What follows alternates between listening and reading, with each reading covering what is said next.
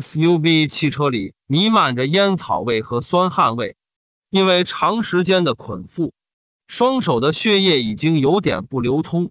勒在嘴上的布条让他不住的流口水，在右颊形成一道印记，一直延伸到右耳根部。前座上轮流开车的两个男人，一个留着大胡子，一个戴着鸭舌帽。天黑之后，他们依然在这片林区行驶。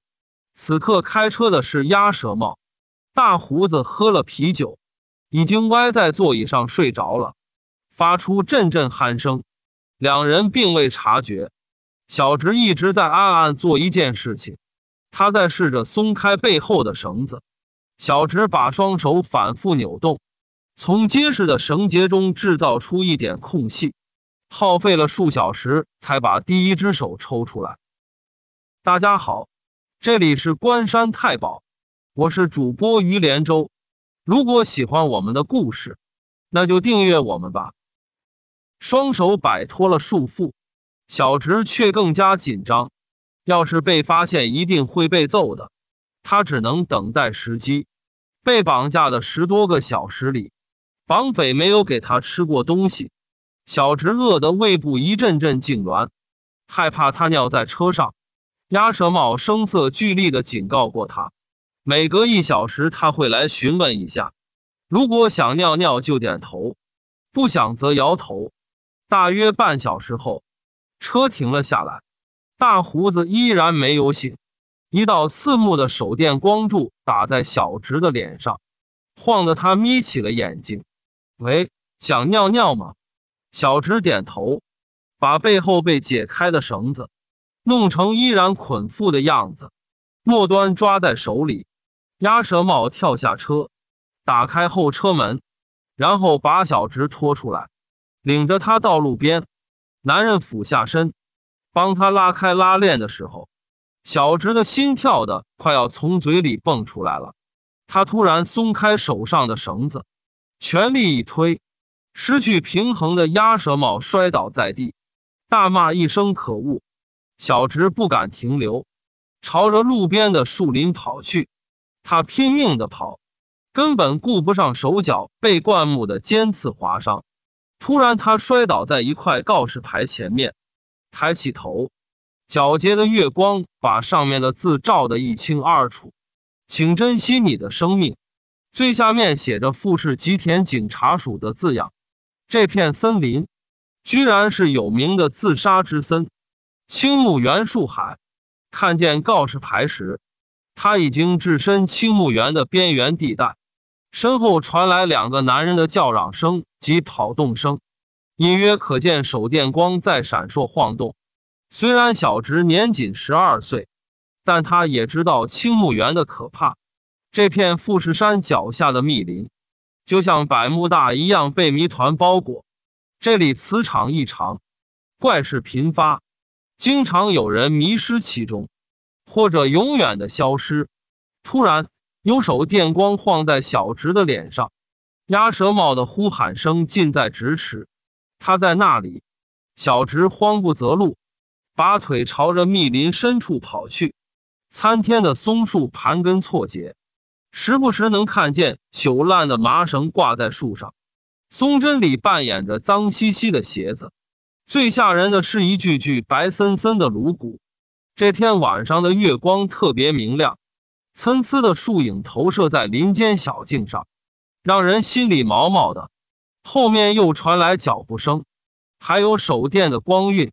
旁边有个被灌木掩住的岔道，被铁链封锁，挂着立入禁止的牌子。小直想起电影里的追逐情节，便钻了进去，把身体伏低在灌木丛中。不多时，鸭舌帽追了过来。小直的心剧烈跳动着，他在地上胡乱摸索，摸到了一个硬邦邦的东西，质感不像树枝，倒像是人的胫骨。啊！这声尖叫不是小直发出的，而是从树林的另一边，似乎是那个大胡子的声音。鸭舌帽向那边回头张望的时候，小直从灌木丛里钻出来，向着密林深处狂奔而去。小鬼，站住！鸭舌帽追出一段距离，又有点担心自己的同伴，便向着大胡子那边跑去。小直在树林间一路奔跑，偶尔听见咕咕的叫声，像是鸟类发出的，在黑暗里让人毛骨悚然。突然，前面有人的声音，他赶紧缩在一棵树后面。空地上的人居然是大胡子，他的手电掉在地上，好像刚刚经历了什么似的，坐在那里不停的抚着胸口。接着，鸭舌帽从侧面的树丛中钻了出来，自己明明是朝反方向跑的。小直暗暗诧异，他不敢有任何动作。连呼吸的动静都放到最轻，生怕被这两个绑匪发现。你刚才乱喊什么？我差点就追上那个小鬼了。我我看见妖怪了。喂，你别吓唬我啊！大胡子的神情非常认真。鸭舌帽不放心的追问：“真的？嗯，黑乎乎的，个子很高大。”大胡子捂着心口：“我们快点离开这里吧。”我可不想为了钱把命送在这里，我真是看不起你！嚷着要绑架那小鬼赚一票的是你，现在打退堂鼓的也是你。事情已经做了，不拿到那份钱，我是不会罢休的。我们分头去找，一个小时后，无论有没有找到，都在这里集合。待到两人走远，小直从树后面走出来，凭着印象。朝来时的方向跑去。小直一次也没有来过树海，但他对这里很熟悉，因为他的母亲曾经在这里自杀。他从小一直跟着父亲生活，对母亲的印象只来源于一张旧照片。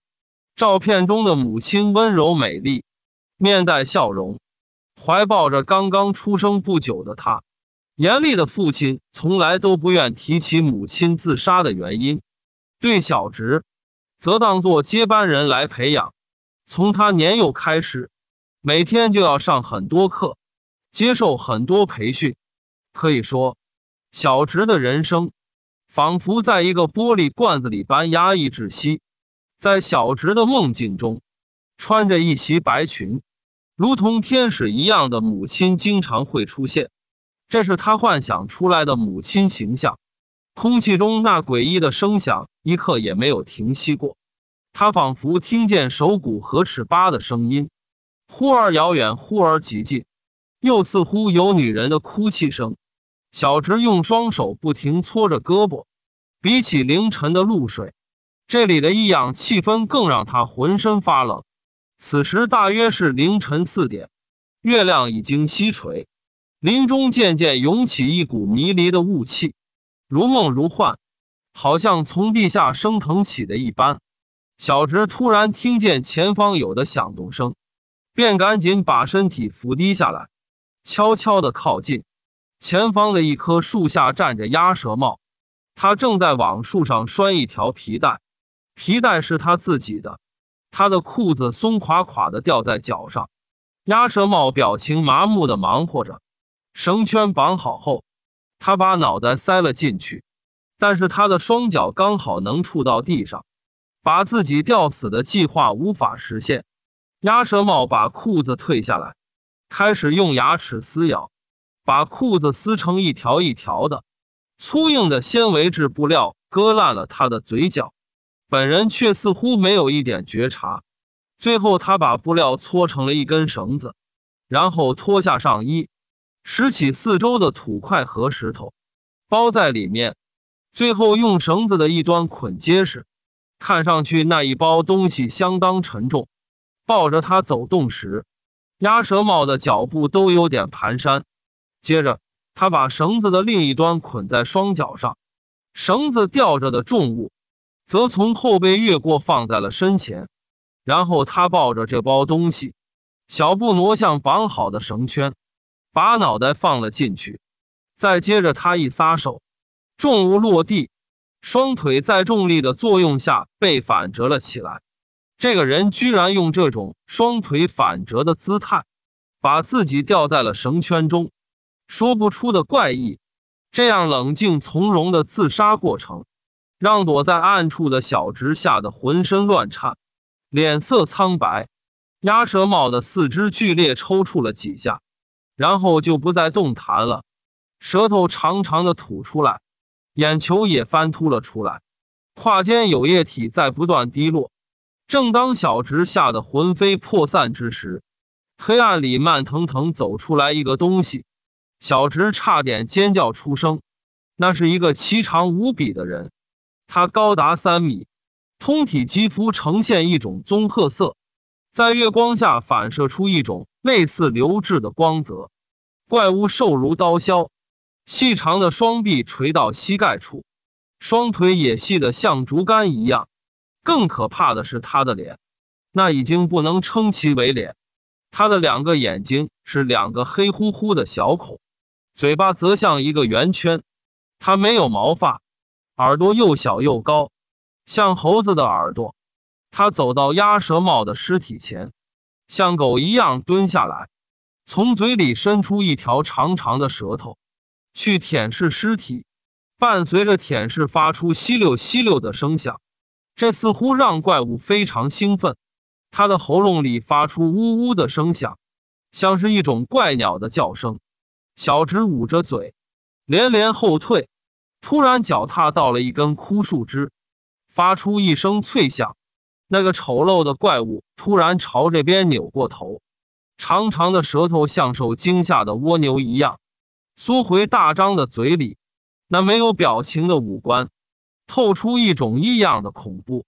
小直吓得扭头，不顾一切的往前奔跑。当他抬头朝前方看时，刹那间，一股凉气从脚底直窜上脑袋。树上悬挂着鸭舌帽的尸体，正微微的摇晃着。森林把他带回到了原点。就在这时，一双绵软无骨的大手突然拍在他的双肩。他仰起头，看见那张只有三个孔眼的面孔，正漠然俯视着他。极端的恐惧让小直四肢僵硬。连一声尖叫都发不出来。当那个怪物抬起一只手向他抓过来的时候，小直才猛然惊醒，发疯似的挣脱开那双手，朝后退，再退，拔腿想跑的时候，却被一个东西绊倒，摔了个狗吃屎，脚踝上有一种湿漉漉的感觉。回头看时，他吓得魂飞天外。绊倒他的东西是那怪物奇长的舌头。像触手一样卷住了他的脚，那个怪物一边缩起舌头，一边向前迈步。他的步幅大的诡异，似乎根本不受髋关节的制约。这怪物伸出长长的手臂，拍打了一下小直的脑袋。他的动作很轻，仿佛在抚摸一只小猫。但脑袋被拍到的瞬间，小直突然感觉头脑一片空白。恐惧一下子退到遥远的地方，有一种非常强烈的悲伤袭上心头。接着，怪物又拍打了一下他的脑袋，这种悲伤更加深重，好像生命中所有的痛苦决堤而出。他好想大哭出来，好想去死，但尚未完全被剥夺的理智，让小直突然明白了，内心被唤起的悲伤。和怪物有着莫大的联系。当怪物第三次拍击他的脑袋时，小直伸手接住了这细细的、滑溜溜的手腕，然后拼命的用另一只脚去踩那根舌头。这个怪物非常怕疼，被踩了一次，他就缩回了舌头。他好像比受害者还要害怕，倒退着潜入黑暗中。小直从地上爬起，朝反方向奔跑。那种强烈的悲伤并没有消散。他狠狠地咬了自己一口，试图从悲伤中清醒过来。他跑着跑着，却突然愣在原地。站在正前方的是一个穿着长裙的女人，温柔静美。那个女人微笑的脸庞，小直曾经无数次带着渴望和向往，在照片上，在梦里见过。瞬间，他的思考被剥夺，呆呆的喊道：“妈妈。”小直，妈妈带你离开这里哦。女人微笑着伸出手，小直的双脚自动的迈开，他受宠若惊的抓住这只手，温馨的感觉从掌心传进内心。小直看见你长这么大，妈妈真的好开心啊！小直点头，然后问妈妈为什么要自杀？因为妈妈有一个非常想去见的人，那个人在天堂。小直应该明白妈妈的心意吧？小直再次点头。